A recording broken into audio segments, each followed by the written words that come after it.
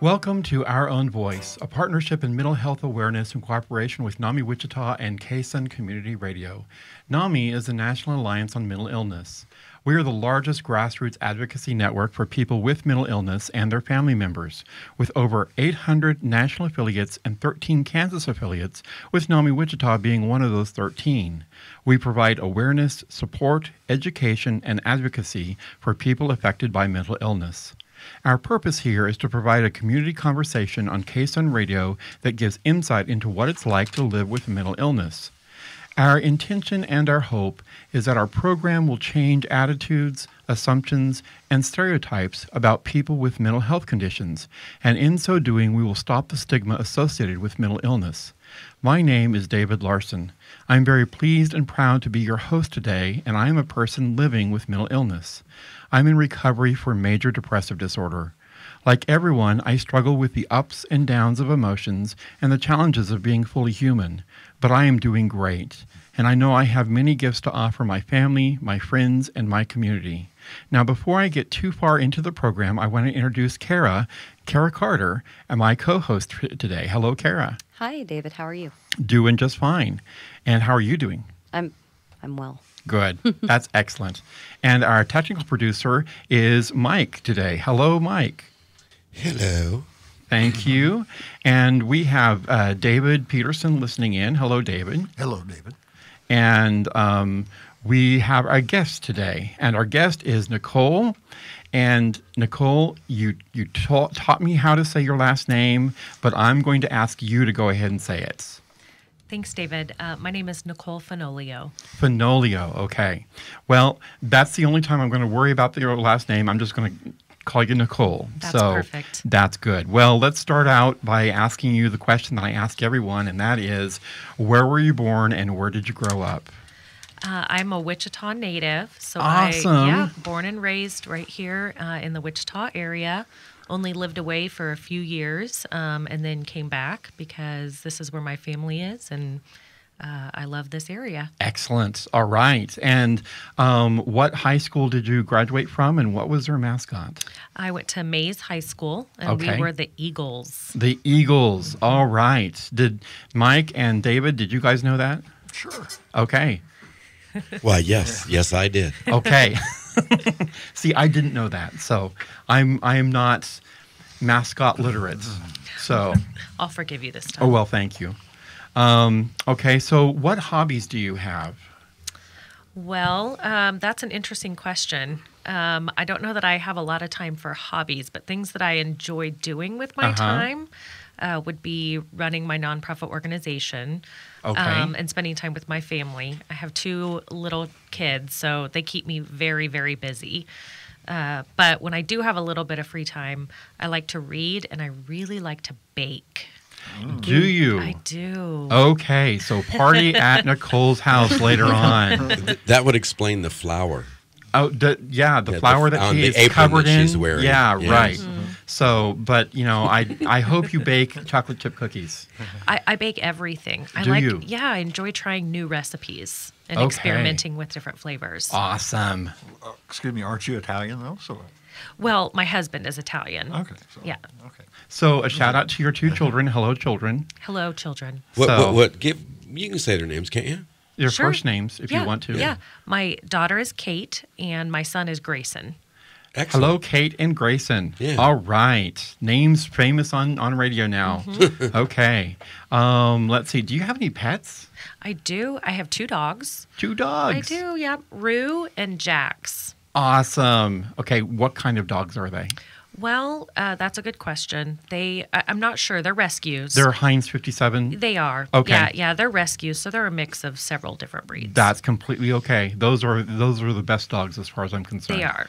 So, all right. Well, um, now to sort of pedal backwards, um, what is your nonprofit organization that you work with? So I started an organization a couple years ago called Stop Suicide ICT. Okay. And and uh, I'm sure we can guess what it's about, but go ahead and share with us what it's about. Yeah, so we uh, our main goal is to just provide education and awareness around suicide um, to help not only prevent suicides in our community, but just uh, to really stop the stigma surrounding mental illness and suicide and suicidal ideation. Okay. And um, you go into schools, you go to workplaces. We will go anywhere that people will have us. Okay. Um, but yes, primarily schools uh, are the number one place that we go to to provide training and education. Uh, we do a lot with other area nonprofit organizations to educate and train their staff, um, especially to recognize the warning signs in the people that they are working with in the community. Okay, so now I need to bring us to a close here for our first section. This is Our Own Voice on KSUN Community Radio. We're going to take a quick break and be right back.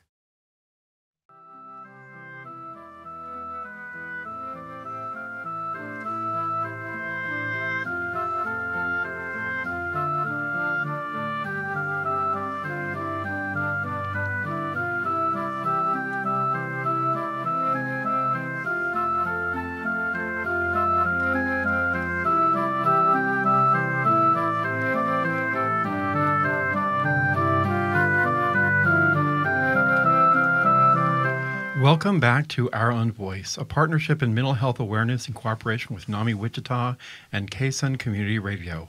NAMI is a national alliance on mental illness. Our Own Voice is intended to humanize a misunderstood, highly stigmatized topic of mental illness by showing that it's possible and common to live with uh, live well with a mental health condition.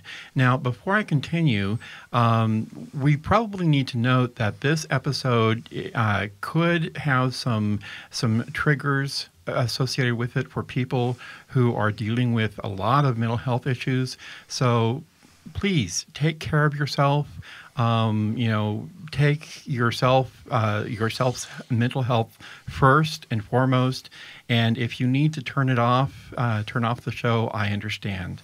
Um, we we really enjoy your listening, but we want you to to um, to do that. So, um, but uh, during the break, Nicole, we were talking about language and all sorts of things. And to begin with, let's let's ask this question: What motivated you to start Stop Suicide ICT? Um, well, my motivation came from several different things. Um, so, to kind of start with, uh, professionally, I'm a clinical social worker. And so I've worked in the mental health field for about 10 years now, and I've worked with a lot of people who struggle with um, mental illness, with suicidal thoughts, and who have um, had suicide attempts. And I've worked with a lot of family members who have lost loved ones to suicide. So I've seen um, very up close and personally how it can really affect and impact um, a person, a family, and a community. Um, in addition to that, I serve on the Sedgwick County Suicide Prevention Coalition. So I meet very regularly with a group of um, providers within the community to help address this ongoing issue. And I just really saw what a significant problem it was in our community and how it's it's an even bigger problem in our community than it is in other parts of the country. Really? Mm-hmm. Okay. And I just didn't feel like there was enough being done. So, um, kind of just got a wild hair. Um, a colleague of mine and I got together and decided to um, start our own organization, and it kind of grew from there. Um, but I do have a, a personal connection as well. Uh, there have been mental health struggles in my family, uh, and I've had my own struggles with depression as well.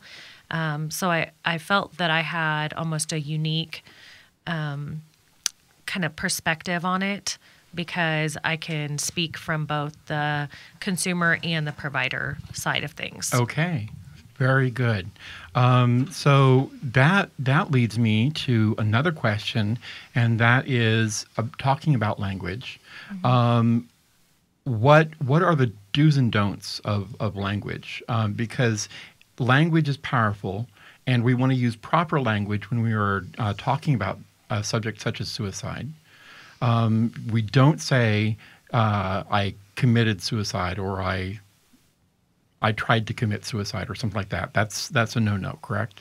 Right. Yeah. So there's been a lot of um, new research in this field lately, and you're right in that language really does matter because the words that we say um, really do affect people. Uh, but but they also kind of affect um, communities as well, and so there's been a lot of research um, surrounding the language we use and how it affects people's perception of suicide and perception of mental illness. And when people use the word commit, it really uh, kind of criminalizes the act. People tend to think of the word commit in the sense of committing a crime.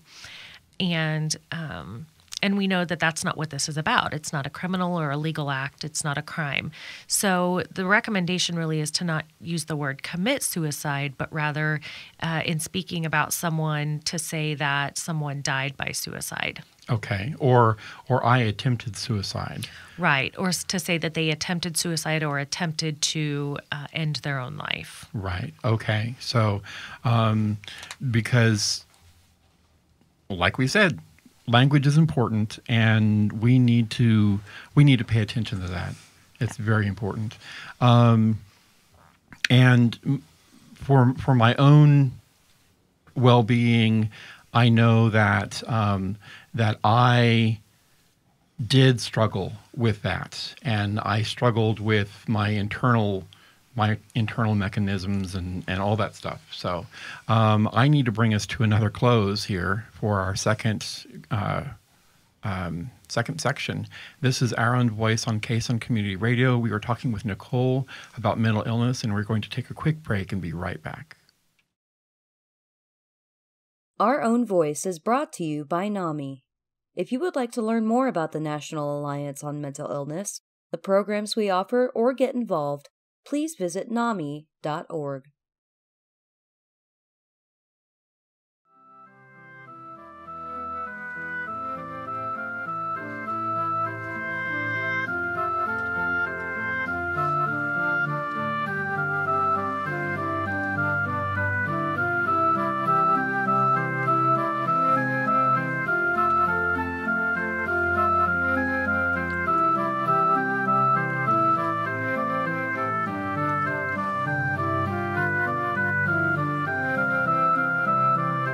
Welcome back to Our Own Voice, a partnership in mental health awareness in cooperation with NAMI Wichita and KSUN Community Radio. NAMI is the National Alliance on Mental Illness.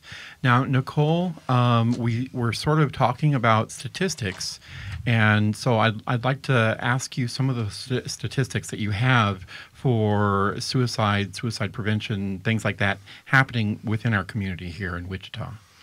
Yeah. So, um, one of the things I just wanted to share to help people kind of just really understand how prevalent of an issue this is. Um, that the suicides in our community are, are actually significantly higher than other parts of the country. Um, to the point that actually they're about 25% higher here in Sedgwick County compared to uh, the United States as a whole. 25%. 25% higher. Wow. Why would that be? You know, I think that's the million dollar question. Um, suicide is such a complicated um, issue that it, it's really hard to narrow it down to specific reasons. Um, there's never one reason why someone ends their own life. Um, it, it, there's a, a, lot of different factors that go into play there. So to really narrow it down to reasons why the numbers are higher, um, it, that's a very difficult thing to do. Yeah, but uh, something I need to note is that um, that uh, we are talking about suicide prevention in this program, and so um, if this is triggering for you um, uh, and you need to uh, call someone, uh, you can call one 800 273 talk. Isn't isn't that right?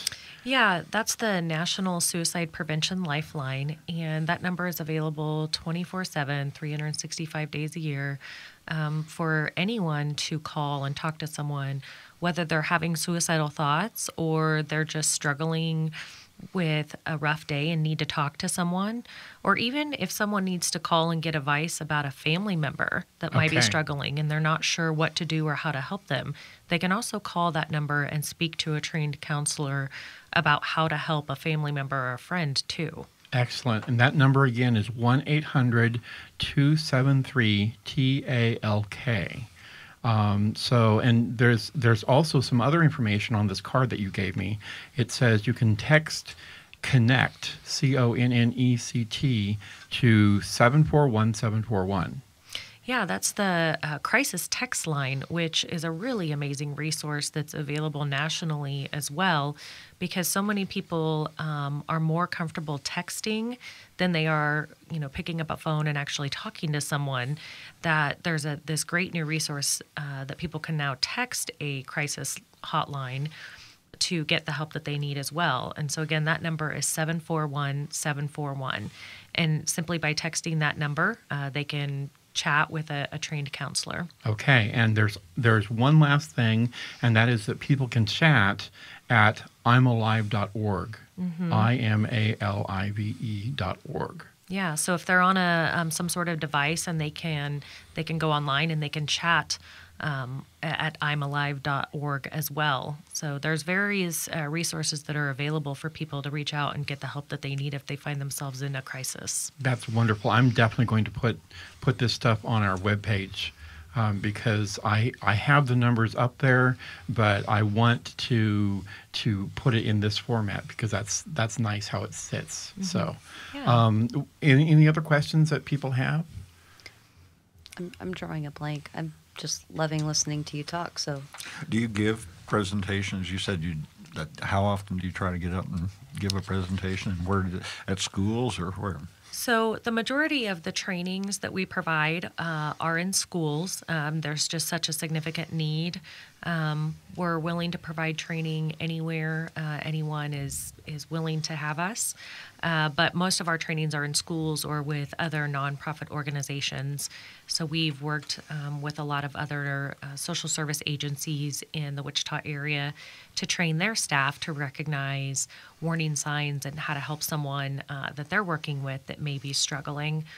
Um, we've also partnered and worked with several different um, faith based um, communities and churches in the area to provide training to them. Um, a lot of times, um, pastors in churches will find themselves counseling uh, their members, and so we provide training and consultation for them as well. Um, do you have statistics as to uh, age group? Uh, what age group is is most uh, prominently struggling with this issue? Yeah. So while suicide can definitely affect anyone um, and any any person of any age, uh, it is most common um, in people that are kind of in that really prime of their life. So ages 35 to 54 is the highest age group. Um, where we see suicides, and that's not only here in Sedgwick County, but also across the country. That's the highest age group. Okay, so that was 35 through 54? 35 to 54. Okay. Mm-hmm. Um, well, um, I am coming up to another break here, and so I need to say this is our own voice on KSUN Community Radio. We are dealing with, um, uh, we are talking with Nicole, and we're going to take a quick break and be right back.